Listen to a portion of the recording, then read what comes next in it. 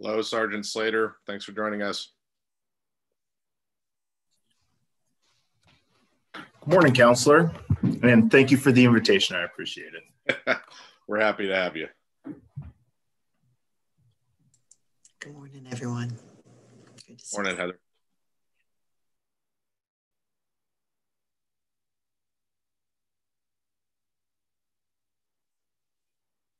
AC Davis, thanks for joining. Absolutely. Good morning, everybody. Good morning. You're you're super quiet there. I don't think you. It, I don't think that'll be an issue, Brad. But I just want to let you know. Thanks. I'll see what I can do on my end if I need to present anything.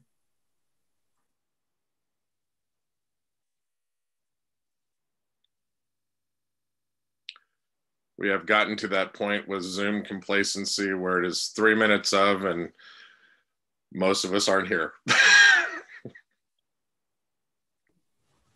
Hello, Brian, Chief White. Brian, is that any better on my end? It is. Okay. Yep. Thank you.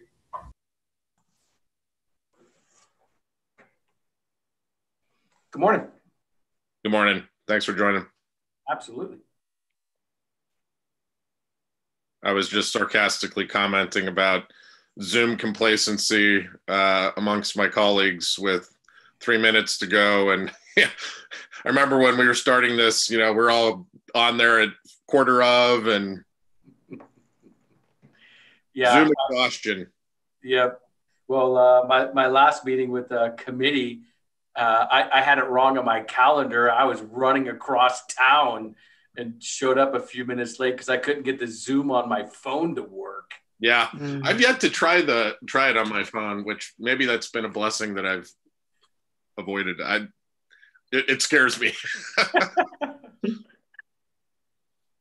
There have been times where it's definitely convenient, but like overarchingly, I, yeah, I think you just need to sit down and enjoy the Zoom as best as one can. Yeah. yeah. Morning, Teresa. Good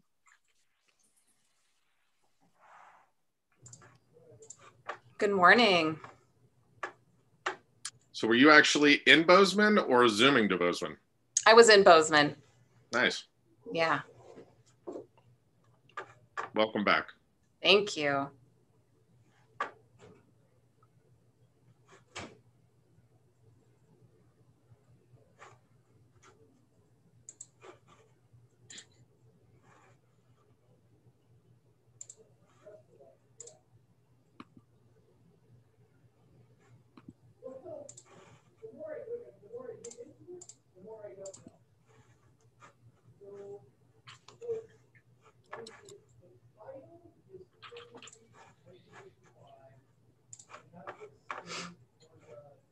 And Megan, are you out there? Can you hear me? I am. Good morning. Good morning. Feel free to get up our uh, public participation attendance slides if you can. Perfect.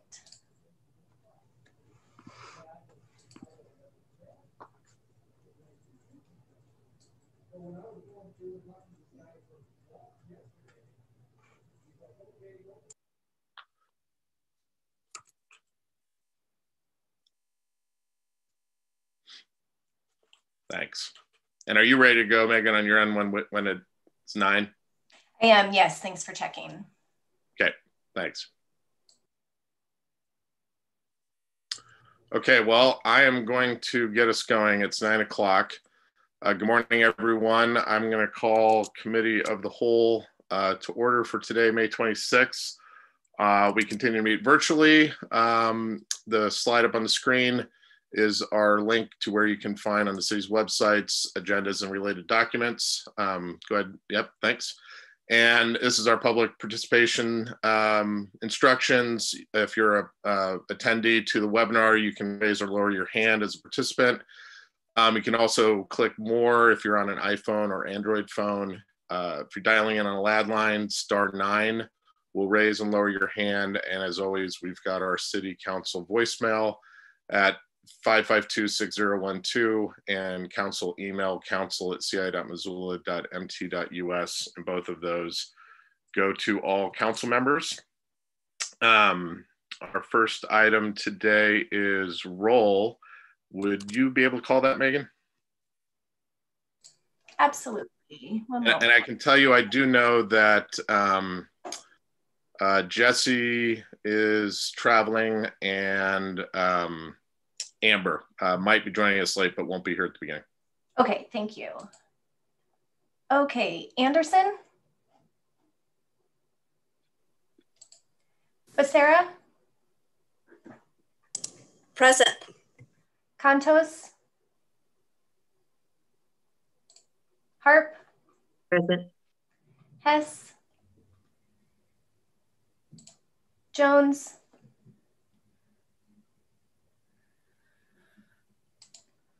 Merritt? Present. Vasecka? Present. von Lossberg? Here. West? Okay, thank you. Thanks. I think I know we have some folks that will be joining uh, probably shortly.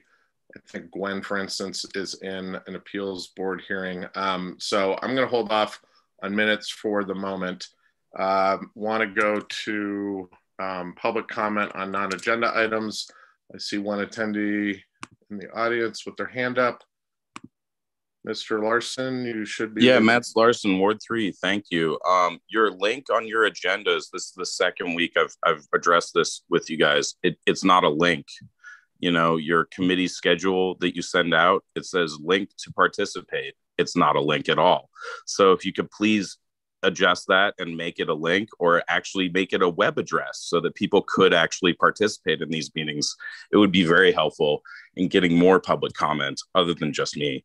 Um, i had a um, I, I observed a response from the uh, crisis intervention team last week um, at butterfly herbs.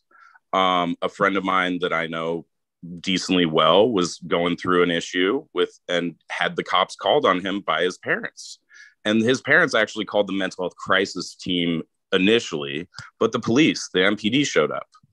And MPD proceeded to follow this man down the street. One of the new officers, Officer Guay, was in his cruiser with his lights on, following this guy down the street before the mental health crisis team arrived.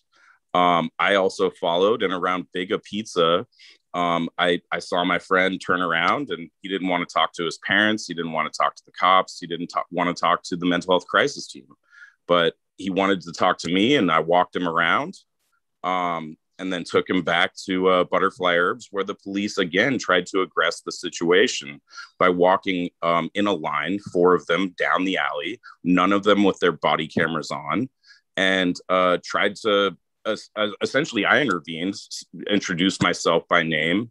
Um, I had to ask them twice what their names were before any of MPD was willing to identify themselves. Um, I believe the shift commander, his first name is Mike. Um, I don't I don't recall the other three or the other two officers who showed up. I think there were a total of three that showed up the second time. Um, and so I, I just want to know what you guys can do because apparently Mike says that the MPD officials said that they can't allow the CIT team to respond first because of money issues. So I figured since you guys are doing the budget right now, you could figure out how to maybe shift some of that $18.4 million MPD gets into the little drop of water in a bucket known as the CIT fund. Um, and maybe allow the CIT team to do their best work and respond first, as as opposed to uh, being a de facto cleanup team uh, or cleanup crew for MPD. Um, MPD needs some more training on just like basic logic with these things.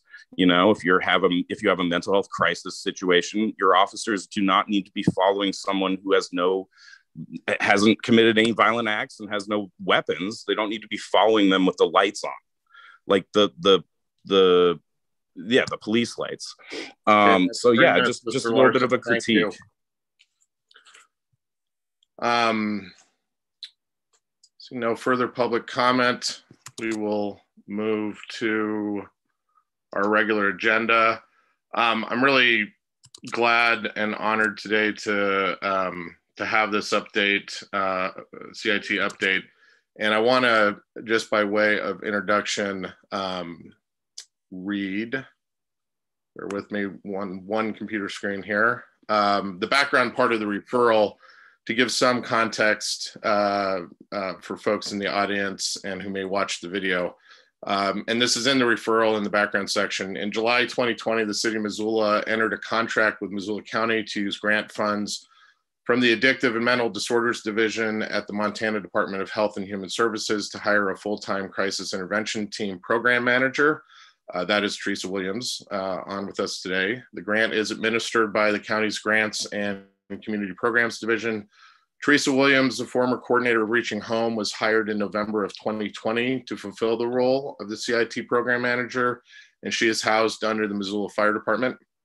Teresa, along with Sergeant Ben Slater from the Missoula Police Department, will present the update today. And I want to um, just quickly say I first met Teresa, I believe, at the detention center. Um, I still have notes from that very first meeting uh, with her. Um, have been really grateful to work with her uh, when she was uh, in the reaching home position and now in the CIT position. And I want to thank her. Um, I want to thank uh, Sergeant Ben Slater and also Assistant Chief Davis from Fire, where this is housed, and Chief White from PD uh, for being here today. And with that, uh, Teresa, I'll turn it over to you. Perfect. Thank you so much. And before I share my screen, I am incredibly honored to be here today to present to members of the City Council Committee of the Whole, as well as our public. And um, thank you for the introduction, um, President von Lossberg. And I am here today with Sergeant uh, Ben Slater, who we have worked together since 2015 when I was working at the Missoula County Detention Facility as a mental health provider. And that's when I was initially recruited um, as a CIT coordinator, and we'll speak more to that. And I'm grateful that Chief Jason White is here today from Missoula Police Department. He is a co-chair of our newly formed CIT Leadership Roundtable that meets quarterly. I'm also um, joined here today by Assistant Fire Chief Brad Davis. I'm grateful um, that he is willing to take on this opportunity of having CIT hosted within his agency, but understanding that this is a, um, a community issue that we're trying to work toward and, and solve together. Joining um, Assistant Fire Chief Brad Davis, um, they're not on camera right now, but hopefully they'll turn on their camera um, throughout the presentation, is um, former firefighter and EMT, and now the mobile support team operations manager and a newly recruited CIT coordinator. His name is John Petroff. He is also on this presentation. And then we also have Miss Susie Boylan from Missoula County. Um, she is a, uh, an attorney and I put together a slide regarding some stats and, and I'm grateful that she is here and can present on those stats as well. So thank you everyone. And we're hoping that we'll provide this presentation and then there'll be opportunities for questions at the end. Again, that's why I also have other folks here today, um, especially if there are questions around the mobile support team and making that connection how CIT and the mobile support team and other partnering agencies, um, including community members, can all work together. So give me one moment while I get my screen ready.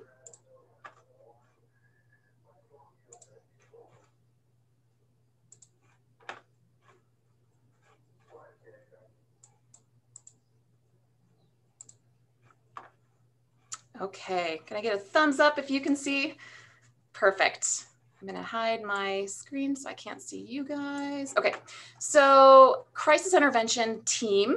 Um, I'm emphasizing the T as in team because often it gets confused with training. Training is a component of CIT, uh, but it is not the overall solution to this. Training is not going to be the single solution to um, improving how we respond to people in mental health crisis. Um, I want to highlight this picture here from our recent CIT Academy. This does um, emphasize the number of people that it takes to put on a training, and not everyone is pictured here. Um, and also, the backbone of the CIT program are the coordinators that are volunteered from, from the agencies in our community. Um, I'll speak more to that throughout the presentation, but wanted to highlight um, here we have Tom Hodgetts. He's a mental health professional from St. Patrick Hospital. This is Officer Joe Berger. He is from Missoula Police Department. This is Elise Watts. She is a um, recent MSW grad student and the former program manager of the Poverello Center. Um, myself, and then we've got John Petroff, who I introduced um, moments ago. Um, this is our, our mental health ombudsman, Dennis Nyland. He's over in Helena and he's a CIT coordinator um, for Lewis and Clark County. This is Sergeant Brad Hickok. He's a CIT coordinator um, and it's his full-time role in Gallatin County. And this is Lieutenant Alex Hall. She is over at Missoula County Detention Facility and here is Ben Slater. Um, in our, and we'll talk more about our academy from this year. We did have two coordinators go through the academy this year, so they're not pictured here. Um, but this just demonstrates that CIT is a, um, it's a statewide program. It's not just local to Missoula, and it takes all of us working together at the local level, at the community level, at the state level to really work on improving how we respond to people in a mental health crisis. So just a quick overview, CIT program is an evidence-based program. We ascribe to um, CIT International. They have a best practices manual. And so it really provides that foundation to promote community and statewide solutions. Um, it also reduces stigma, and I'll get to that momentarily. And again, it's the goal is to deflect people from entering the criminal justice system um, who would be better served in another um, in another situation to treat any mental health conditions. Um, in CIT, we're coming together as, as a team and we're working to problem solve um, folks that are going through that system. We're working, we're working to figure out how do we divert people and we're also working if there are any situations where we could improve as providers between our agencies, whether that's law enforcement to the hospital, mobile support team to the hospital, um, partners um, that are providing mental health services. We all know that there are things that we can do to be better as first responders, as community members, as neighbors. Um, and so that's really what the CIT is, is working, um, working to do.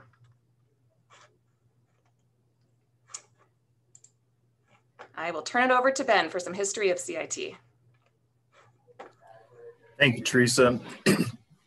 so part of how we ended up uh, with CIT goes back to uh, the beginning days when uh, President Kennedy made a big push for deinstitutionalization. Uh, and that was intended to be able to shut down a lot of these federally funded uh, mental health institutions. Um, and unfortunately, that that dream moved forward in steps, but did not move forward in its entirety. And those uh, federal systems were certainly shut down, um, but the community oriented um, mental health centers weren't able to fully step forward or be funded, at least from the federal level. Um, back in Memphis, uh, back in the late 1980s, there was a terrible incident that occurred where uh, there was a deadly shooting encounter by the Memphis Police Department involving a gentleman of color uh, who was suffering a significant mental illness at the time. Um, the city was already on a verge of unrest, and this caused everything to blow up. Uh, at that time, the mayor got together with the uh, police department as well as other community members and said, This is a problem. You guys need to come together and fix this. Um, from that, uh, Lieutenant Cochran of the Memphis Police Department, as well as other community members, sat down at the table and they developed Crisis Intervention Team. Um, one of those core backbones of CIT involves the Crisis Intervention Team Basic Academy, which is a, 40 hour program that talks about uh, de escalation, um, stigma, and identifying mental illness and identifying community resources. Um, CIT Montana was created back in about 2007, and it was kind of had a different bunch of different forms throughout the state uh, where each uh, community kind of had set up their own piece. Um, at that point, it was sort of fundamentally flawed. Uh, it was taught more as an education only and not as a community partnership um, piece. Um, back in 2016-ish, CAT Montana was created, and that helped unify the state as a whole. And what we identified was, at least on an education point, we're all working underneath the same rules, the same um, law. Um, there are some consistent mental health partners throughout the state that we were able to partner up with. Uh, and we created a framework for how does crisis intervention work well in the state of Montana. Uh, we then pushed that out, unified all communities underneath this central uh, CIT Montana flag and move forward. As Teresa said, uh, both she and I attended a orientation or a coordinator training, for lack of a better term, in Gallatin County in 2015 and pushed out our first academy. I believe it was uh, the spring of 2016.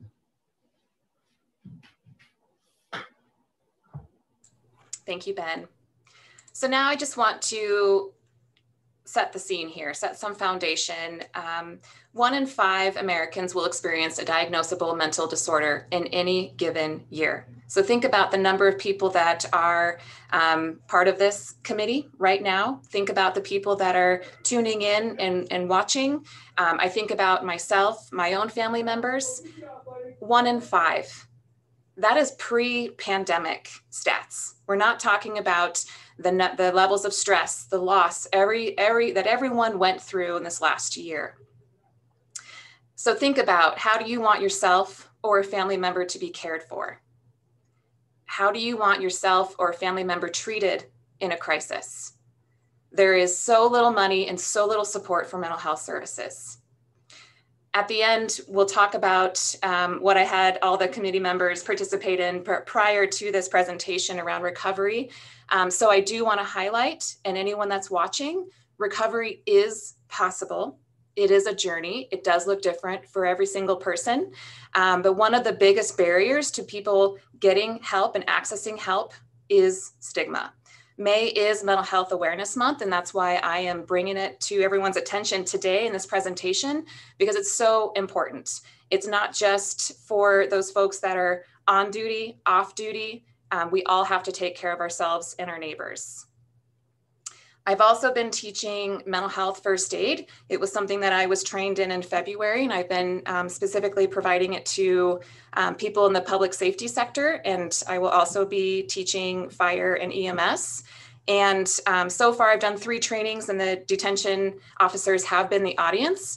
And when I ask them, what are the top three most prevalent mental illnesses? They always guess schizophrenia it's not schizophrenia. Schizophrenia in the nation is less than 1% of the population. But when it comes to incarceration and, and our detention officers, that is where people end up. And when I've done trainings at the detention center, I first ask, and these are new officers, um, you know, why did you get into this field? And they'll give me a wide variety of answers. And I said, no one listed that you wanted to work in the new mental health asylum. So I'm going to give you some more stats here and what we're up against, and also provide hope and that we can get out of this. We can work together towards solutions. And so when I am talking about mental illness, I am talking about how it impacts our ability to live, our ability to love, our ability to laugh, and our ability to learn. So really think about that. So often we hear a lot about um, myths, again, contributing to stigma, contributing to the unknown, and, and also how media and movies portray people living with a mental illness. Um, so we hear people with mental illness are violent. That is actually a myth. The vast majority of people with mental illness are no more likely to be violent than anyone else. In fact, people with mental illnesses are more likely to be victims of violent crime than the general population. Recovery from a mental illness is impossible. So you've heard me say that it is not impossible. It is, it is a journey. It's going to look different, but re recovery is possible. And research shows that people with mental illness can get better, and many do recover completely.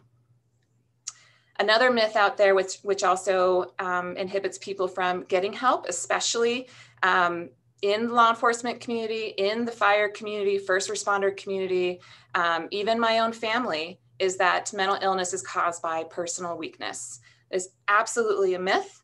Um, mental illness is caused by a number of factors, including biological factors, stressful or traumatic life events, and long lasting health conditions, such as heart disease or cancer. And I want to give credit. I literally took this from the CDC um, and I just copy and pasted it in here. There's um, more questions if you want to test your knowledge about mental health, um, but I really encourage all of you to, um, to think about these things. Um, so I mentioned the new asylum and my time in the, the detention facility.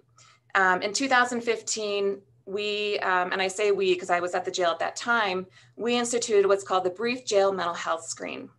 So when someone comes into the detention facility at booking, they are asked a number of questions um, to, to really understand how do we triage, how do we, how do we get a referral to the mental health department.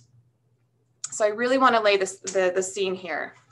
Um, some of the questions being asked are, do you currently believe that someone can control your mind by putting thoughts into your head or taking thoughts out of your head? Do you currently feel that other people know your thoughts and can read your mind? Are you currently taking any medication prescribed for you by a physician for any emotional or mental health problems? And there are several more questions and um, there's a, a, way to determine on when someone would be referred to the mental health department. So out of those responses and all the numbers of, of brief jail mental health screens that were being completed, this kind of, and so 2021 right here, this is up until May of last week. Um, so already it's pretty high. Um, and then this gives you a comparison of um, 2015 to 2020 and showing that anywhere between 20 to 40% of the people coming in to the Missoula County Detention Facility are having some sort of mental health um, problem. And um, to the extreme level that they definitely need to be referred to mental health. And again, thinking back to the audience I've had for mental health first aid, they think the highest mental health disorder out there is schizophrenia. Um, I forgot to mention it's actually depression, anxiety, and substance use disorders. Um, I'm going to show you another slide here too around um, in 2018 on that brief jail mental health screen, we added homelessness questions. Um, that was around the time when I was implementing the coordinate entry system with community partners. And we wanted to find a way to ensure that folks going into the detention facility, they weren't falling through the cracks of the system. And so if they got referred to the mental health department, then they could um, get them in the coordinate entry system before they're released and help increase their chances um, for getting linked to housing and supportive services. But before I show you that slide, um, the Missoula County Detention Facility um, provided me some additional data and um, Last year in 2020, they transported nine inmates to Warm Springs State Hospital. So that's our Montana State Hospital. Already from January to last week, they've already transported nine inmates to the Warm Springs State Hospital. Um, Susie, if she's still on this call and, and hasn't been called away to court, um, will tell you a little bit more about uh, mental health commitments. And there is an extreme threshold that one has to meet in order to be involuntary committed. So this really demonstrates how um, sick people are that are going into our jail. And I'm not saying sick in a in a way of you know adding to the stigma. I'm just saying like these are folks that need our support, need our care, need a better alternative. So these are the, the stats on from that brief jail mental health screen around homelessness. Um, the question that's being asked is where do you sleep? Where did you sleep most recently? And um, there are other housing options on there, but these ones trigger a referral to the mental health department. So homeless shelter, hotel, motel paid for by program, outside camping vehicle, or transitional housing. So these are the HUD homeless definitions. And so um, a lot of the programs we have in Missoula, you have to fit the HUD homeless definition. Um, and that is um, the criteria for the coordinate entry system for homelessness housing. And so that's why we added these questions. And so this just shows you that 20 to 30% in the last few years of folks that are coming through are getting referred. And so, and they uh, have a history. They were most recently in a homeless situation. Okay, Susie, are you still on the line? I am. Perfect. So Susie sent me an email with stats. She has not seen this slide yet. And so um, Susie, I took this directly from your slide and highlighted some things. So I hope this will give you a good framework of which to report out. Thank you. Okay. Thank you, everyone, for having me. Um, I'll try to be brief in case there are questions. Um, I handle the all of the involuntary mental health commitments for Missoula County the Attorney's Office for a little over 22 years, and I've been handling this caseload um, for a little over three. And I took this caseload over about 10 minutes after all of the case managers were laid off um, with budget cuts. So um, that year, our the number of petitions that we filed went up 25%, and that was 2018. So in 2018, we filed 300 petitions. Oh, I lost my slide, Teresa. Um, we had. I was trying to turn off my email noise. Hang on one second. I'm so sorry. We um we had 200 and sorry, we had 300 in 2018. Um, we had 270 in 2019, and we had 284 in 2020. And that was a real surprise because I thought our numbers would skyrocket during the pandemic. Um, I think that the opposite is true. I think our numbers did not skyrocket because so many people weren't being seen and didn't have access to services. And I expect that if we are going to have a big jump in petitions, it will start probably start this summer. Um, what we did see during the pandemic is that the people that we were filing on were so much sicker than we were used to because we did have a skyrocketing number of people who um, went to contested hearings, often because they were not even competent to agree to further treatment um, if they wanted to. And um, so we and we ended up sending actually committing far more people to the state hospital um, than usual. And so to file uh, just to give you an idea i mean these these numbers without context don't mean a whole lot but i mean it is essentially a full-time job in the missoula county attorney's office to handle the um, the involuntary commitments. And in order to file a petition on someone they have to be considered an imminent risk to self an imminent risk to others or substantially unable to meet their basic needs. So the threshold is pretty high. And when um, when Teresa talks about us pulling nine inmates out of the jail, um, uh, people get their their basic needs met generally at the jail food clothing shelter health and safety and a lot of the people that we file on and pull out of the jail we file on because they can't meet their basic needs. They are that they're that ill. They can't even have their basic needs met um, in a structured environment like the jail. Um, and in order for someone to not be able to meet their basic needs, for example, the five basic needs are food, clothing, shelter, health, and safety. Um, homelessness is not enough to file. It has to be some, it, it's about problem solving. And so, if someone is so ill, their symptoms are literally interfering with their ability to figure out how to obtain um, adequate shelter, whether it's um, going to the POV or making sure they have a warm enough sleeping bag to sleep outside. Um, if they can't do those things, then they um, then they can't meet their basic needs. Um, if they think food is poison, so they're not eating, they can't be, meet their basic needs. Um, if they're walking into traffic because they think they can't die, they can't meet their basic need of safety. Um, and the risk to self and risk to others criteria, um, that risk has to be imminent. And by imminent, it means likely to happen at any time.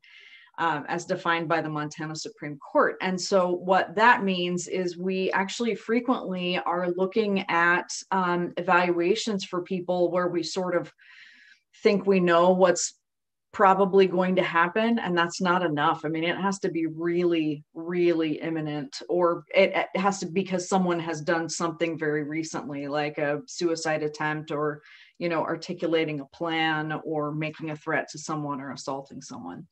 Um, so when we say we do to file 284 petitions in a year i mean what i see is a tiny tiny slice of the mentally ill population in Missoula. Um, my lane is very, very narrow.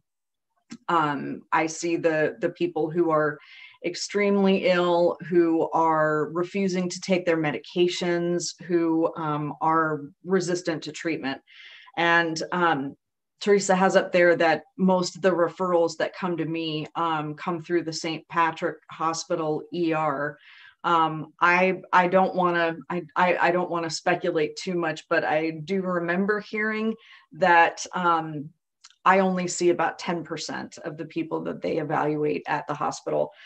Please don't quote me on that number, but my point is that they evaluate tons and tons and tons of people who are mentally ill who do not meet the criteria for commitment. So again, my lane is is quite um, my lane is quite narrow. Um, we are very lucky in Missoula, however, because we have wonderful community partners. Um, we, when we detain someone pending a, a petition and a potential commitment, um, we are fortunate enough to be able to detain a lot of folks locally um, at Dakota Place, which is a Western Montana Mental Health Center crisis house, and at the at NBMI, the Neurobehavioral Medical Inpatient Unit at the Providence Center. They're all wonderful partners, and um, and they what we have to do on a commitment, both when we detain someone initially and when we decide um, what the outcome needs to be uh, we are legally required to try to place someone in the least restrictive alternative available. Um, and we are very lucky that we have less restrictive alternatives than the state hospital available in Missoula. Pardon me, a lot of counties don't. Um, and so when we when we file these petitions we detain them. We hopefully have detained someone locally. We then file the petition and then we have to have a contested hearing within five days. These cases move really fast. It is all about acute stabilization as opposed to long-term stabilization um, and so on the day of the hearing, we do another mental health evaluation. That evaluator um, makes a recommendation and it can be one of four outcomes. Um, one is dismissal if the person no longer meets criteria, the legal criteria for commitment, and does not mean they're well. It just sometimes it means that they're just under meeting that legal threshold. But I still have to dismiss. Um, it could be commitment to the Montana State Hospital with or without um, authorization for administration of involuntary medications. It could be what's called a community commitment, which is um, essentially a court order for local treatment, or what we call the, the fourth outcome is a diversion, where the person is close enough to stabilizing that they can that they can stay where they are or stay in one of our move to one of our local facilities because we think that they will clear up enough, or the, the treatment providers think that they will clear up enough to um, stabilize within 14 days, which then allows us to dismiss the petition. So that's kind of a really, really short summary um, about where we are, and I'm happy to answer any questions. Teresa, would you mind if I uh, ask one question? Sure. Um, and I apologize to my colleagues. I'm going to break protocol, ask one, and then I'm going to ask folks to hold their questions. Susie, first off, thanks for taking the time to join us. Sure. Um, you mentioned the state budget cuts in 2018 that resulted in the case managers uh, being laid off, and that's something that I and several of my colleagues uh, were very familiar with, and and the results of that uh, practically in the community. And then there was quite a bit of talk about the the restoration of those cuts, and I'm wondering if you could just clarify for everybody. You know, one thing is um, case managers and the work they do are not light switches that turn on and off. Uh, and I honestly don't know exactly where we back are, where we are relative to uh, where we stood with those cuts. And maybe you could speak to that briefly. You know, um, there are there are certainly more case management positions than there were um, when I started. Um, the difference between when I started and you know a year ago or so is pretty significant, but um, there's I don't think there were enough to begin with. Um, I think case management is so critical. I mean that the the thing that was so devastating about those budget cuts is that case managers were supposed to be the backstop. That position was invented, as far as I am aware, to keep people out of the state hospitals. And so losing those positions just, I think, shifted a lot of expense to counties and to other parts of the system. Um, so there are, there certainly are more case managers, um, but there are we deal with so many people who really need intensive case management, and there are not a lot of those types of case managers. Um, we did uh, last year, uh, we invented a case management position to work with the commitment cases. Um, Eli Parker, who's my counterpart at the um, Office of the Public Defender, uh, we, we essentially got a grant funded position for our cases because we have so many people who are still quite ill that we have to dismiss on. And we sort of send them out saying, good luck finding your sleeping bag and making that appointment in three weeks and picking up the prescription that you can't afford um, and sometimes are too sick to figure out how to get to. Um, and so we now have a, a, case manager who works with us. And I, I, I can't quantify this in any kind of expert kind of way, but I am firmly convinced that the reason we only had 284 petitions last year was because of her. Um, and one of the things she focused on pretty significantly was housing. And so I think that um, if there's anything that we need more of, besides, I mean, we need more local beds, but um, we need more case managers and intensive case managers. Okay. Thank, thanks very much. And sure. Teresa, back to you. Okay, thank you. Thank you so much, Susie. And if you need to leave, totally understand. You're very busy. I, thank you. I'm okay till 10. Okay, perfect. So next, I really want to lay the foundation around the goals of a crisis intervention team it's paramount that we're increasing safety and we're increasing the safety of, of the officer, the responder, the community, as well as the person in crisis. So that is paramount here. Oftentimes, law enforcement and first responders are the first to interact with someone um, that is experiencing a mental health crisis, whether it's their first break with psychosis, um, they're not sure what's going on, it's family members are calling 911. And at that time, CIT trained officers know that they have a real opportunity here to help people um, treat and early intervene to someone's mental health crisis. And so we really want to increase those connections. And we spend a lot of time teaching um, law enforcement and first responders the resources available in the community. We also want to make sure that we're using law enforcement strategically um, and we're increasing those community supports. Um, so we want to use them for criminal concerns or an imminent threat to safety.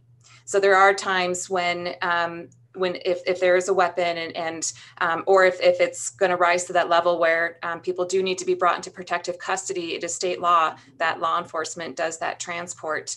Um, we really want to increase those community supports um, and um, you know that's another area where we have mobile support team which is a component of an effective crisis response system and i'll show you a slide about that later and another critical piece of this is improving client outcomes. In all of our interactions, we want to reduce trauma for the person in crisis, and we want to promote that long term recovery. And that's why I want to keep saying recovery is possible.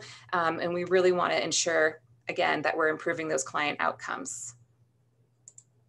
And Ben is going to tell us about the core elements of CIT. Thank you, Teresa. And I'm going to start kind of blowing through a couple of these slides, being mindful of time. Um, so I would believe that everyone who is on the meeting will have an opportunity to be able to read these slides. So I'm just going to highlight a couple of uh, our ongoing operational and sustaining elements. Ongoing elements here continue to be building out our community partnerships, um, as well as uh, what parts here um, within our partnerships go to evolve our policies and procedures. How can we continue to do this job better? And what can we take as lessons learned, not just in our community, but nationally and internationally? Our operational elements, those groups that are actually out and working the system, include that frontline officer, the, the responder, the, the firefighter, the paramedic, um, any person who has that direct one-on-one contact with an individual uh, who is exhibiting signs of a mental health crisis. Um, back end stuff is our curriculum. Again, how do we evolve our program? How do we modernize? And how do we uh, take developing legislative issues uh, and be able to continue to move forward?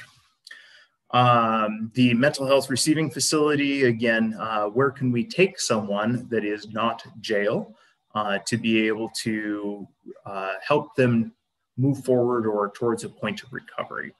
And then the sustaining elements uh, is, again, back end stuff, uh, evaluation and research, our continuing ed, as well as recognition for those, those frontline CIT officers, those back end CIT coordinators that are doing exceptional. How do we recognize them for the work that they're doing, as well as events like this, public outreach? How do we tell people within the community about what our uh, crisis intervention team is doing to be able to uh, move forward in our community? Thanks, Ben. And in my quarterly updates, I do speak to um, how we keep working toward these um, 10 core elements for a CIT program. We did touch on the CIT coordinators in the very beginning. Here's the full list of all of our CIT coordinators uh, um, in our, as part of our crisis intervention team. Um, each year we do go to CIT International and Montana is really well represented. Um, this one I think was in Seattle um, two years ago. Last year it was virtual. Uh, so we've got our members here. And again, we all support each other. I travel to other communities, as does Ben and other coordinators, so we stay fresh on our on the curriculum, um, and vice versa. And they, they, everyone can see that this again is not just a local CIT effort. This is a statewide CIT effort.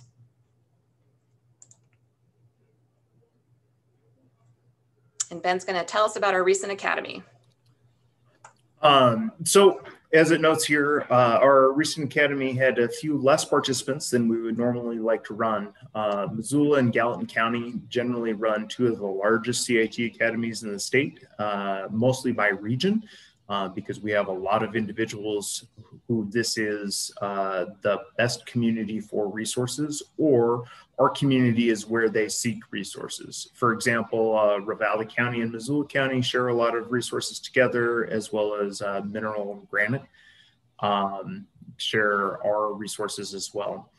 Uh, this year, we uh, hosted about 33 participants. Of those, uh, I'm going to go with roughly round numbers here, but roughly a quarter were sworn law enforcement, a quarter were through fire EMT, and I believe that caught at least the EMTs from the mobile support team. Um, about a quarter were mental health uh, individuals, and then the remaining quarter made up uh, probation and detention. Thank you, Ben. Um, this just gives you an idea of the number of topics that are covered in that 40 hour academy. Students are provided um, with a link to our learning management software. And so they go through a bunch of PowerPoints and quizzes prior to even coming to the class. So when they are in class, we have um, speakers that come in and we tell them, you, you know, we need you to come in and you need to commit to being a resource as well. Um, so that is kind of the caveat for our speakers and we avoid you know just presentations. We want to make sure it's really interactive that our participants can ask questions. We have a lot of panels. Um, a lot of people with lived experience come in. Um, we we um, brought in all nations to give a native community cultural consideration presentation. Um, andy nelson from the lgbtq center came in and talked about considerations for um, for folks um, from that community. So we we really bring so much in in that 40 hours. And then in all of that, our participants are practicing all the skills um, and putting it into action so it becomes ingrained in muscle memory um, for when they're having interactions.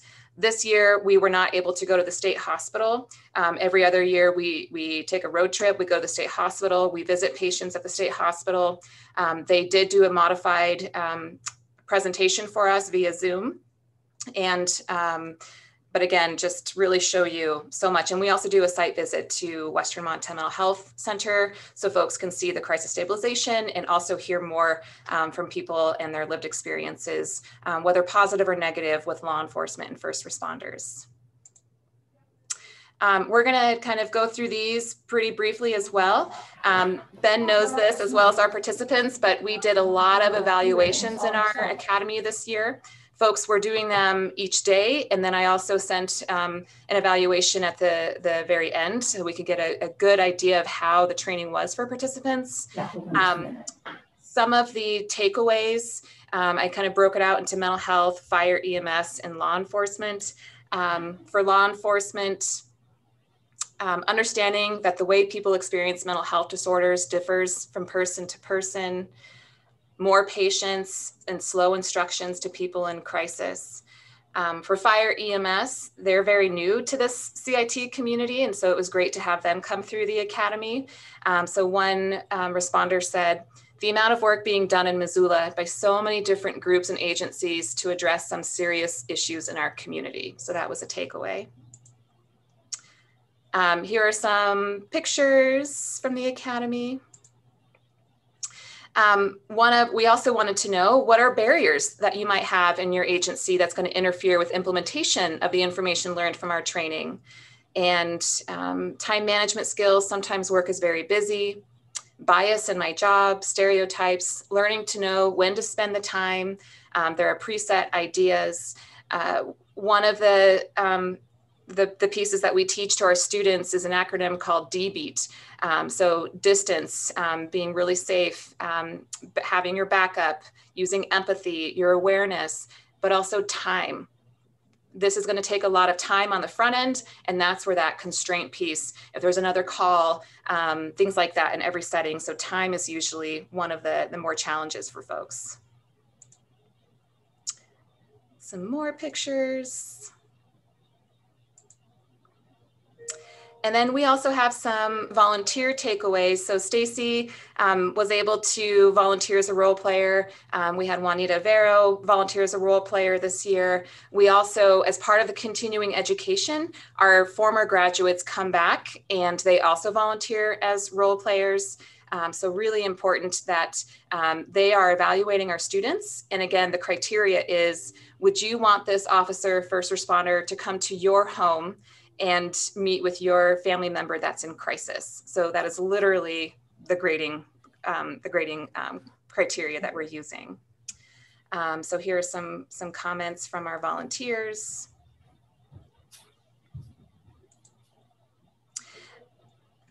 As if, if you know me, you know I'm always thinking about solutions and being solution oriented and what can we do um, to really problem solve and so I did have a, a you know a, a, poster on the wall where if there were gaps and, and um, solutions that were coming up throughout the week, how do we capture that? Um, so here are some comments from participants throughout the week of the Academy. Um, we need a public information officer to get success stories out to the public, 24 hour CIT, a detox unit, can't reach those most in need of mental health care when unsheltered because organizations refuse. Um, a place where people can keep their medication. And that's often what we hear is it's so hard to track and, and um, treat any sort of mental illness if you are unsheltered um, because where do you keep your medication? It's really challenging. So I want to just kind of give you an idea. This is from CIT International. This gives you a framework of an integrated crisis response system. So right now, this is kind of our only default is everything goes through 911 for emergency medical services, for law enforcement. Um, right now, the mobile crisis team is um, dispatched via um, 911 in a co-responder model. Um, and then these are the kind of the outcomes that can happen. Either that's the emergency department or um, remaining on scene, and maybe it's a referral to a family member. I ultimately in the future, um, this is coming to Missoula, is a crisis line called 988 that'll be operated um, by Western Montana Mental Health Center. Um, but our hope is then that this is another pathway um, that we can help people in a behavioral health crisis. And so it can go to the mobile crisis team or even go to a warm line. A lot of people in crisis, um, these can be addressed just telephonically with professionals or peers, um, people with lived experience that have um, are now in recovery and, and can support folks. And then over here is this mental health receiving center that is a core component of an effective CIT program in that um, this is a no wrong door facility. So we don't need to route you through the ER first. This is a place where anyone can go regardless of how they're presenting, regardless if, if there's any substances on board. Ben, i have been going through these fast, so I'm gonna kick it to you to talk about this one. All right, so um, just some highlights here about our partnership and community ownership. Um, so what is CIT here doing behind the scenes? Obviously, our, our basic academy is the big, bright, shining public, hey, we're out here, as well as uh, Teresa's done a fantastic job about putting us in front of all of you policymakers on a very frequent basis. Um, but what are some other things that we continue to do behind the scene to be able to make this system work? Um, every other Monday, we have a group of that's what bi-monthly means. I always read Teresa. Bi-monthly means every other month, not twice monthly. So thank you.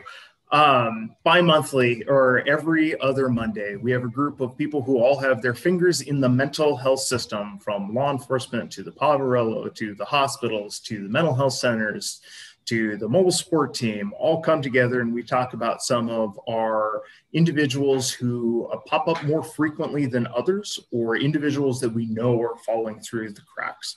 And with those folks, uh, we try to identify ways that we have an intersect. So it's not just a law enforcement problem, it's not just a mental health problem. We all are having fingers in this person. And so, how do we move them um, through the system to have a better success?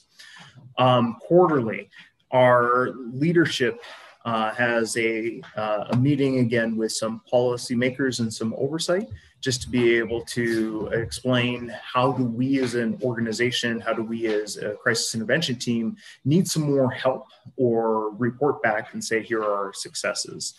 And then with those coordinators within the agencies that help uh, support those members inside of the agency, we meet monthly uh, to be able to discuss some ways that we can, uh, again, make this system better. Uh, like I like to say, as a coordinator within the community, I may not be the officer who is responding to that 911 call or to that emergency call to be able to provide help, but I'm there when stuff goes absolutely wrong. This didn't work as designed. So I bring that back to our coordinators and say, hey, this is broken so let's put this back together and identify where the disconnect is so that we can move this to uh, work as it was intended or as it's planned. Thank you. And I should mention here too, um, the Strategic Alliance for um, Improved Well-Being, I think I got that right. Um, they meet monthly and we share similar partners. And so they gave us one of their meetings every quarter. Um, so we can bring those stakeholders along with um, additional CIT stakeholders to come together because one of the um, big efforts that the Strategic Alliance is, work, is working on is that No Wrong Door facility, which is a component of CIT, as I keep mentioning. And we want to work together, not in silos, and figure out how do we push this forward. Um, because all too often in my role as a CIT coordinator and program manager, I get calls from law enforcement who are just just morally you know struggling and that um, they're working with someone um, that's uh, you know, diagnosed with a mental illness and they literally have no other options. And they're like, Teresa, what can we do? This is this is hurting me that I don't have any options. I can't even imagine what that's like for the family and for the person that's in crisis. So um, I want to get to your guys' chart here, um, but before we do that, this is something that I've always integrated into my trainings at the detention facility, and I'm, and I'm bringing it to this audience. But if we treat people as they are, we make them worse. If we treat people as they ought to be, we help them become what they are capable of becoming. And so I'm just going to quickly just share what you guys put together in terms of um, what recovery means to you. Safety really stands out there that it is so important that in order to, to be in that recovery place, safety is paramount. Um, health, supportive, wholeness, thriving, happiness. So just showing that recovery looks different to everyone and um, we can get there if we are being innovative creative um, working on connections all of those pieces um, so thank you and i will open it up for questions i apologize i only saved five minutes no thank you teresa and thank you ben and susie um, a couple logistics things. Uh, Megan, I just wanted to note that uh, all council members are here except the two I mentioned would be gone. Um, Jesse and um, and actually Amber is, was here. Um, and then uh, I wanted to just briefly comment, uh, make sure the public is aware that the agenda, both the PDF agenda and the, the uh, HTML agenda, both do have links to get to this meeting um, at our meetings do. Uh, one of our counselors had trouble with their email and actually got to the meeting via that link. Uh, so I just wanted to assure people that that was the case. Um, we do have limited time here, but I want to provide a comment to any of my or opportunity for any brief comments from my colleagues. Uh, as Teresa mentioned, Stacie uh, Anderson participated uh, in um, the last academy. So Stacie, I'll go to you. And I know some people are queuing up. We're going to have to be really brief, folks. Thanks so much. I'll be really quick. I thank you so much, Teresa, for giving me the opportunity to participate. It was um, I, I, had a very good time and it was incredibly eye-opening to see the various scenarios and all the intention and work that went in to put on this CIT Academy. So my hat's off to you and all the fellow coordinators. Um, such an amazing job. And it was really, you know, we as role players knew exactly what the scenario was going to be, who was what, what role you were supposed to play, how you were supposed to react given the um, you know prompting from the officers or whoever was um, the first responders in that role play scenario. But it was an excellent reminder that those first responders don't have any idea what they're walking into each time they come to a call. And um, and having this scenario um, play out and seeing how they handled themselves and you're right it helps with that muscle memory it helps kind of like bring to real life um, and even in this is a very safe environment they knew none of us had weapons and things like that but um, it was really just kind of eye-opening and just so critical. So i guess my question if i allow uh, comment quickly but question is i would love to know from either either sergeant slater or chief white kind of um, you know what is the sort of plan to get more officers through the CIT program uh, or the academy? And kind of how are you integrating that into your overall um, training? And what are the criteria for an officer who wants to participate uh, beforehand? Is it self-selection or whatnot? I think that would be important to know when we get to questions. that, let's go ahead and Chief White, do you have any quick response to that? It's also something that uh, I think it's on the minds of all of the council members and it's something we want to be supportive in. So if you have any uh, quick response in that, you're uh, welcome. Quick to. response. We currently have 44 officers that have been through the CIT training and three of our civilian personnel that have um, uh, first touch with, with folks. And you know, the unfortunate part is based on the academy only running once per year uh, because of the, the, the costs associated with that and the amount of staff time, not only from the police department, but from uh, all of our stakeholders and partners. We are only able to offer those academies once a year, and we maximize the number of officers that we can get in uh, when we are provided that opportunity. So, uh, if we can get uh, five or six additional per year in there, we will absolutely support that. Um, trying to build out uh, future capacity, um, working through CIT Montana is uh, critical for us. And, and when we can get people into some of the regional trainings around us, we will also sleep, uh, you know, do our best to get folks in um, when they're in and around us. So it's not a travel burden or anything like that. But it is something that we absolutely support and we'll continue to get our people trained. Thanks, Jake. I just want to add, though, at, I know we're running out of time, like training is not the single solution here. It is a huge component, but we can't, where do officers take people when they're in a crisis? And um, their options are so limited. And even family members, where do they take people when their family is in crisis? So we have to think big picture too. Yeah. I'm going to go to Heather and Heidi. Uh, Amber, I know you, ha- you have your hand up. I'm going to close it out after them just from time constraints. Um, go ahead, Heather. Thank you. Um, and to all of you as our first responders of social work in this community, I thank you from the bottom of my heart. Teresa, the video that you shared with us um, and had us watch, I just want you to know that is my family's lived experience. So it is very much a real thing that happens. So, my question to you all knowing what we know today and knowing that we all want to improve, what kind of resources are do, do your departments need in order for us to take take things to the next level? Yeah, I'm thanks. gonna jump in. I'm gonna I'm gonna actually comment on this from some framing at the end. I'll build off that, but let Heidi, let's get yours on as well. Uh, th- uh, thank you for this great presentation. I just uh, one slide stood out to me a lot about um, I guess officers feeling like they don't have enough time um, in their interactions, and I was curious if our new staffing rotation has had, I guess, an impact on how officers feel like they can handle these situations, like, uh, or, if, or, if- or if we're tracking it, because we did have a big change in how we staff our police department recently. Perfect. I can answer this one.